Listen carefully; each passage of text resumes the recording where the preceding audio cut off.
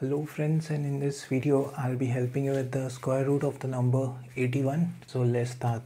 So we'll be finding out the square root of 81 by using the prime factorization method. Now before solving this remember one thing. Prime factorization method can be used for perfect square numbers and for other number also you can use but for only simplification okay? So now let's begin. So square root of 81 is written like this okay and as I told you we'll be using the prime factorization method. That means we need to the that means we need to do the prime factorization of the number okay? Like this. And for doing the prime factorization of the number you should be knowing what are prime numbers. So prime numbers are numbers that are divisible by 1 and the number itself like 2 3 5 7 and so on.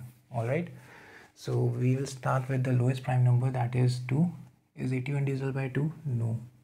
So we'll go to the next lowest prime number that is 3 is 81 divisible by 3 yes it is. So let's divide and we'll be left with 27 it is again divisible by 3 we'll be left with 9 it is again divisible by 3 we'll be left with 3 3 is again divisible by 3 and we'll be left with 1 once you get 1 you need to stop and whatever you have on the left hand side the set of prime factors for the number okay?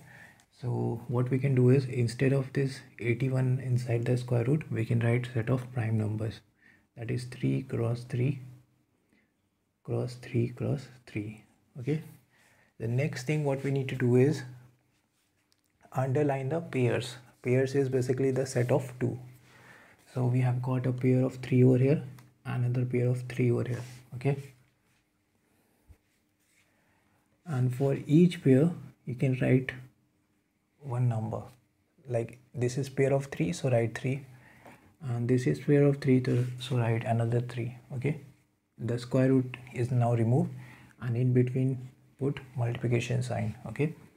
The answer will be 9 okay?